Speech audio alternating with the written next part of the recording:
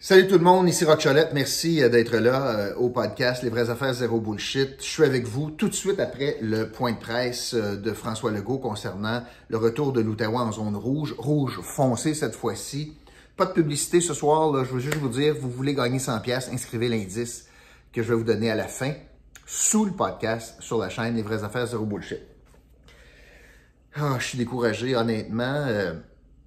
J'ai écouté attentivement le premier ministre depuis deux jours là, et euh, on sent à souvenir, il l'avait, il l'avait dit, mais je veux vous donner euh, mon opinion sur quatre aspects. Tout d'abord, je vais vous parler de l'annonce. Alors, le premier ministre, essentiellement, ce qu'il dit, vous le savez déjà euh, fort probablement, c'est que l'Outaouais, Québec, Lévis reviennent en zone rouge foncée, en tout ferme. On revient à, début de l'année, tous les commerces non essentiels vont fermer. Euh, salon de coiffure, salon de toilettage, euh, les concessionnaires auto, les garages, les euh, boutiques de vêtements, Alouette, tout ça ferme. et les restaurants ferment, les gyms ferment, donc salle de cinéma, salle de spectacle, etc., etc. Tout ça ferme. Les sports intérieurs, c'est fini, etc. Et pour ce qui est des commerces euh, qui vont demeurer ouverts, ils vont être capables de vendre juste des, biens essentiels. Ça veut dire qu'il y a plein de sections qui devront être fermées. Je vais y revenir. Alors, le gouvernement nous annonce ça, nous annonce que ça sera pour une période d'une dizaine de jours. J'ai déjà entendu ça. Ça, c'est comme le chèque est dans mal. Euh, une dizaine de jours. Et je veux, euh, avant de vous parler donc de mes quatre façons d'évaluer l'annonce, je veux vous dire que je ne mets pas en doute, mais pas, pas en doute, la gravité de la situation, le nombre de cas qui augmente, la précarité de notre système de santé, l'effet possible sur les hospitalisations et les soins intensifs, sur l'effet sur le délestage pour d'autres actes médicaux. Je ne mets pas ça en doute, mais pas du tout. D'ailleurs, ça me permet de prendre un moment pour vous parler de deux décès qu'on a appris aujourd'hui en lien, semble-t-il, avec la COVID des gens d'affaires, notamment Jean-Claude Chartrand, qui euh, était chef propriétaire du restaurant bien connu de Laurie Dubois euh, à Chelsea. Un gars que je connaissais un peu euh, et tout un ambassadeur pour l'Outaouais en matière culinaire. Semble-t-il que ça a été fulgurant, là. Un diagnostic, puis ça a duré quatre jours de COVID. c'est pas théorique, là, cette maladie-là. Puis c'est pas une grippe, là. Puis c'est pas de l'invention, puis de la machinerie, puis de des inventions à, tout rompre, comme les complotistes aiment le dire, là. Puis que ça existe pas, là. Puis que c'est, c'est, le grand reset, là. Quel bullshit ces gens-là nous, nous racontent. Pas d'accord avec ça, moi, là. C'est vrai, là. on est aux prises avec une situation très difficile, là. C'est du vrai monde avec des, vrais problèmes de santé, avec des vrais décès. Il y a des vraies familles pleurées. Là. Il y a du vrai monde qui braille à soir. C'est tout vrai, ça. Alors, le gouvernement est, confronté, donc, avec la réalité. C'est pas différent en Europe. Regardez ce qui se passe en France. Sauf que, aujourd'hui, donc, le premier ministre nous annonce, encore une fois en Outaouais, qu'on retourne dans les mesures les plus sévères au Québec avec Québec et Lévis. Quatre constats. Premier, c'est vrai qu'on a du monde infecté, mais en grande partie à cause des gestes du gouvernement. On est la région avec le moins grand nombre de vaccins. Initialement, on nous disait oui, mais c'est parce que votre profil démographique, là, vous n'avez pas assez de vieux, alors que les variants frappent les jeunes. Comment comprendre ça? Le gouvernement planifie mal. Alors qu'il nous a dit, le gouvernement, on avait vu ça venir, les variants, que ça touchait les gens plus jeunes. Ils nous disent, d'un côté, on savait que ça s'en venait, puis d'un autre côté, ils disent à l'Outaouais, mais on s'en sacrait de vous envoyer suffisamment de vaccins. En argumentant que, oui, mais le profil de population, vous avez pas assez de vieux, puis on le donne en fonction des vieux parce qu'on a commencé à vacciner plus vieux. L'argument donc du gouvernement, c'est de dire oh, ben, c'est pas grave que vous étiez, que vous soyez la pire région. Vous voyez aujourd'hui le résultat des courses. La pire région en matière de vaccins, ben, aujourd'hui, on est une des régions qui est pognée dans une zone rouge foncée. Deuxième chose, on est parmi les régions les plus mauvaises en termes de délai pour se faire tester quand on prend des rendez-vous, puis pour avoir, pire région, pour avoir les résultats en temps opportun. Quand ça te prend deux jours à avoir un rendez-vous, puis ça te prend cinq jours à avoir le résultat, ça n'a pas de crise de bon sens. Encore une fois, l'Outaouais pénalisé. Pourquoi on est la pire région? Je me souviens, moi, à l'arrivée de Mathieu Lacombe en poste, ils ont sacré dehors le PDG du CISO en disant que c'était tout lui le problème. La nouvelle PDG fait quoi? On est la pire région. Quand tu dis j'essaie d'avoir un rendez-vous, ben pendant que tu essaies d'avoir un rendez-vous, peut-être tu continues à te promener en ville. Peut-être que tu es en train de contaminer du monde. Quand tu es pogné à attendre cinq jours au lieu de 24 heures, comme ça se fait à Ottawa, pour avoir tes rendez-vous, peut-être que tu es moins enclin à rester chez vous parce que c'est l'incompétence du CISO qui te force à être en quarantaine par rapport à d'autres régions du Québec. Ça, c'est des vraies affaires créés, générés par le gouvernement de François Legault. Les vaccins puis les délais pour avoir les résultats. C'est pas la faute du monde qu'on arrête de blâmer le monde. C'est la faute de qui qu'on a passé de vaccins? C'est quand même pas moi dans mon salon.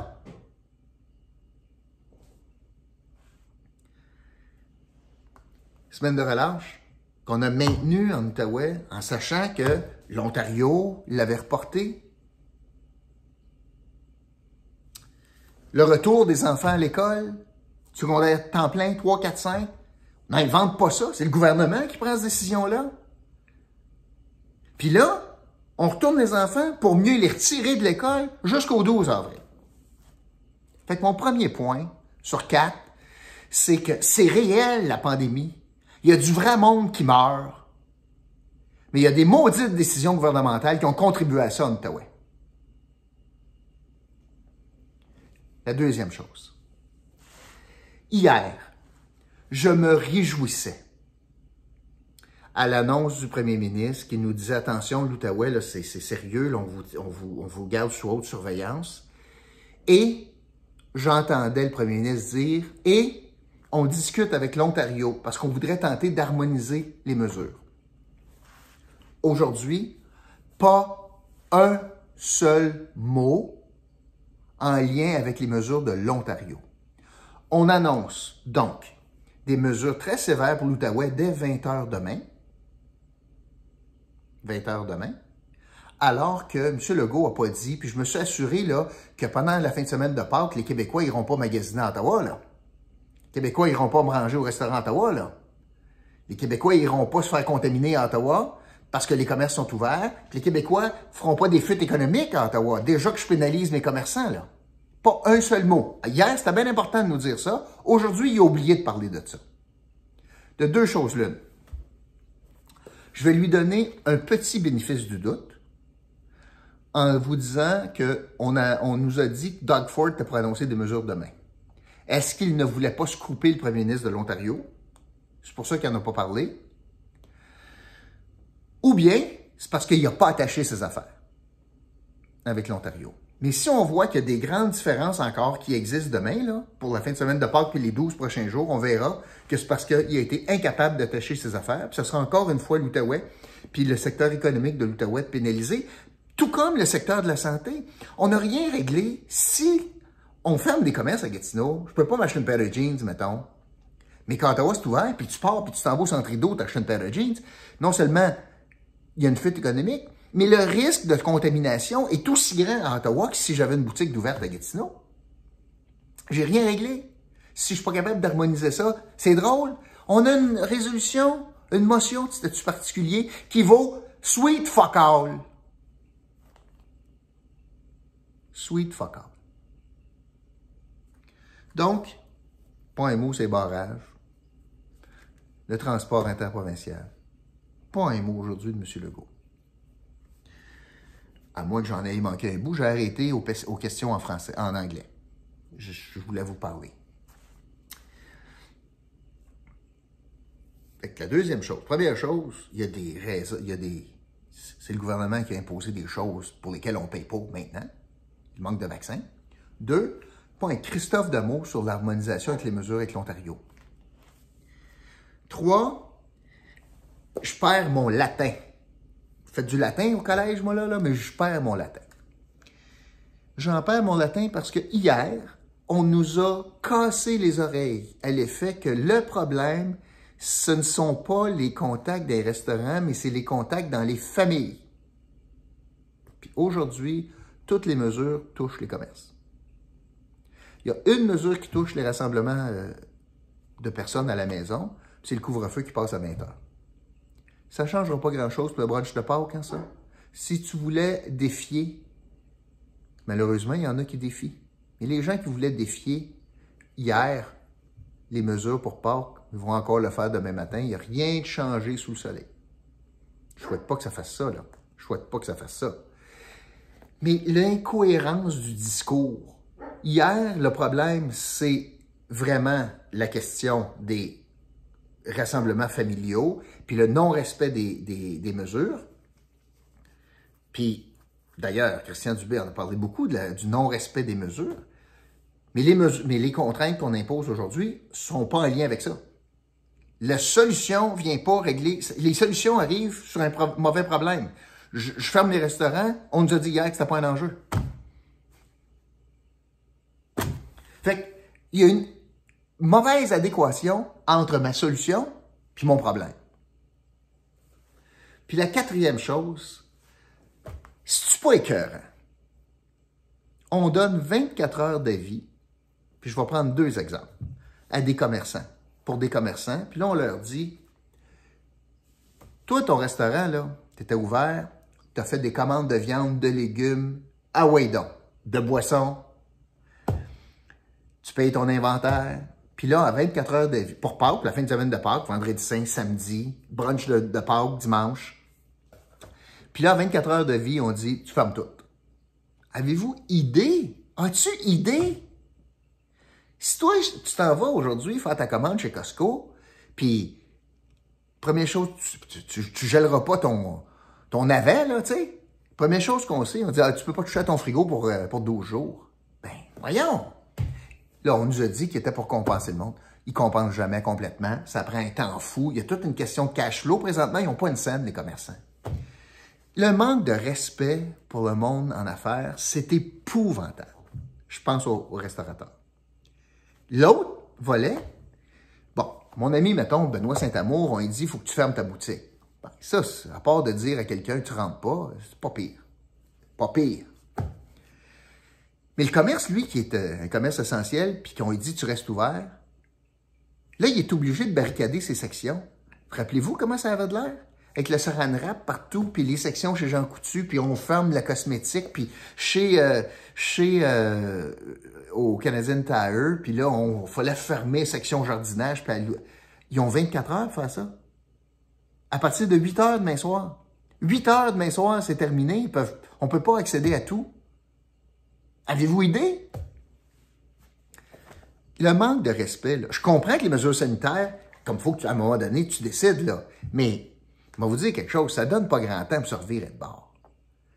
Puis le ministre de l'Économie aujourd'hui, qu'est-ce qu'il faisait? Ben, il se défendait d'être en conflit d'intérêts parce qu'il y a encore des participations dans une entreprise qui fait affaire avec, euh, avec euh, Investissement Québec, puis donc, puis les lobbyistes font du...